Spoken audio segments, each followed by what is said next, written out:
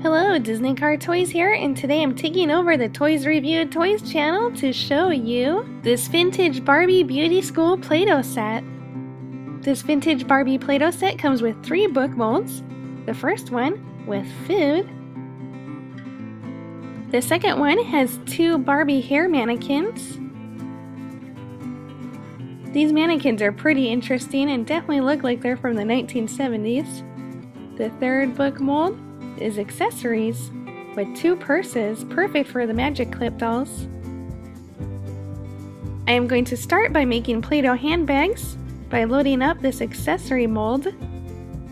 I'm just going to load up one side and these purses aren't very deep and so you just need a little bit of Play-Doh. Just squeeze them all together and now we have two perfect purses for our dolls rip off the Play-Doh very carefully here. It's so thin you need to be pretty careful ripping off the Play-Doh. Here's our first purse. And our second one. It's a little tough to see, but the purse on the left has a little star on it. Now it's time to give the dolls the purses. I'll give the first one to Elsa here in her beautiful blue dress, kind of like a Cinderella dress. It sticks right on her hand perfectly and it is absolutely the most perfect size. The second one I'll give to Ariel, and she's wearing a magic clip dress similar to one that Snow White would wear. Now I'm going to make some more Play-Doh purses for Anna and Belle. But this time I'm going to make purple purses just so that Anna and Belle can stand out from Ariel and Elsa. I'll give Belle her purse first. And honestly, the purple color really does match pretty well with her dress. Slide her hand through the Play-Doh. And the purple purse definitely goes with Anna's outfit.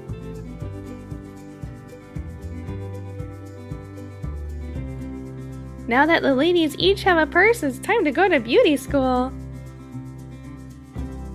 It's time now to use the mannequin mold. It's got a little picture of a hair dryer on the front. And we have two mannequins to make. I don't know exactly what color to make the mannequins, so I'm just going to choose pink. Now these mannequins are a little deeper molds than the other purse molds we did, so you do need a little more Play-Doh for this one. Just squeeze your book mold tight, and ta-da, here are our mannequins. Just peel them out. Here's the first one. She's got bangs. Stick her up right here. And the second one, she has nice layered hair.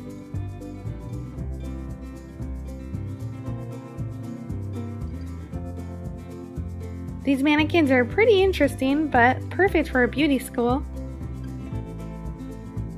The last mold has food related items. The picture has a soda and a hot dog, but comes with a plate, a root beer bottle, a cup, and a sandwich. I'll make the root beer bottle brown, and for the plate, I'll use blue Play-Doh. And to match the plate, I'll use blue Play-Doh for the cup as well. And I'll use red Play-Doh to make the sandwich. Hey, why not? Once all the Play-Doh is loaded, just press your book mold closed. Use all your strength and ta-da, we've got ourselves a picnic here. Let's rip off all the Play-Doh so that the girls can eat.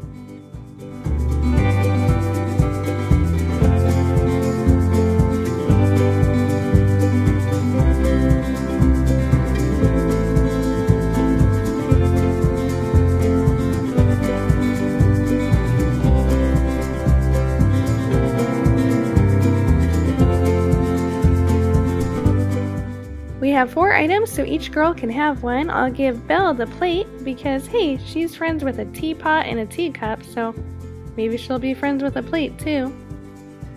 And let's see, I'll give the sandwich to Anna.